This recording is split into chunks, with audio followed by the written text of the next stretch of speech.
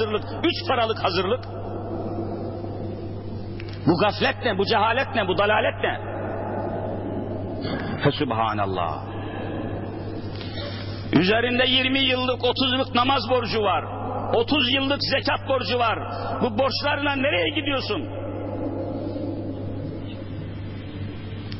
Üzerinde sayısız kul hakkı var, borcun var. Nereye gidiyorsun? Açın en ciddi, en sahih hadis kitaplarını okuyun. Ne diyor? Efendimiz Muhammed Mustafa sallallahu aleyhi ve sellem ne buyuruyor? Sahibu deyni mağlulun fi kabrihi. Burada miktar belirtmemiş Allah'ın Resulü. Borçlu demiş. Borç diye bir şey var. Borç. Arapçası dal ye nun deyn eddeynu borç demek. Sahibu deyni borçlu.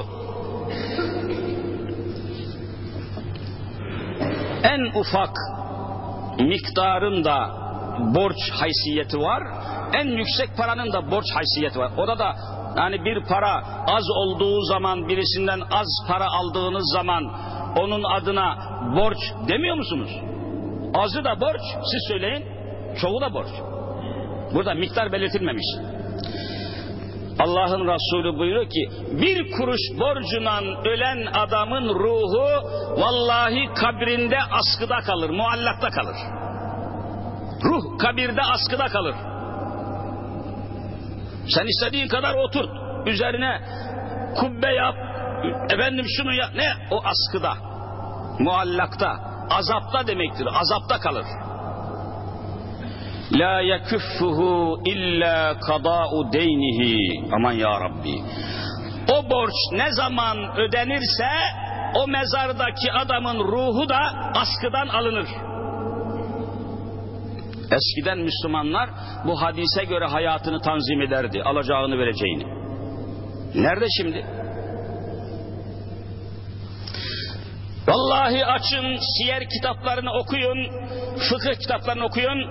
Allah'ın Resulü Muhammed Mustafa sallallahu aleyhi ve sellem hayatı boyunca peygamber olduğundan vefatı anına kadar önüne musalla taşına konan cenazelerin, Müslüman cenazelerinin borcu var mı yok mu diye sormadan eğer varsa o borç ödenmeden vallahi kimsenin namazını kıldırmamış. Bak yeminle söylüyorum. Bu bizim Müslümanlar ne olacak ya?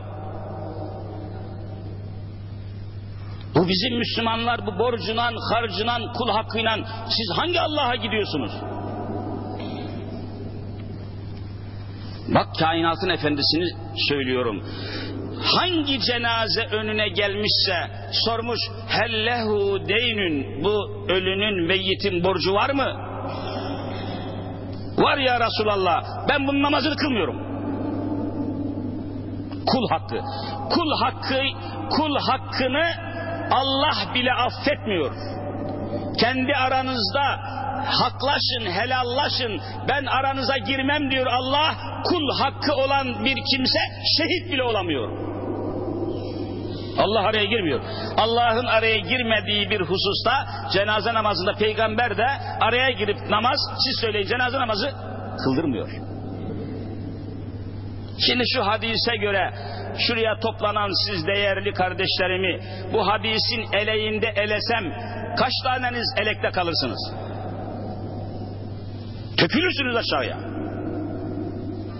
Böyle gidemeyiz ahirete. Böyle gidemeyiz Allah'ın divanına Müslümanlar. Canım hocam sen de amma sıkıyorsun ha. Allah kerim değil mi? Bak bak bak bak. Ne kadar müthiş bir aldanma var burada.